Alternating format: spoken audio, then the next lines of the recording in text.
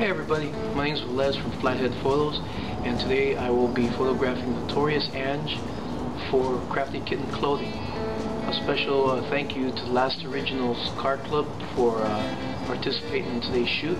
Uh, I hope you guys enjoy and I'll catch up to you guys.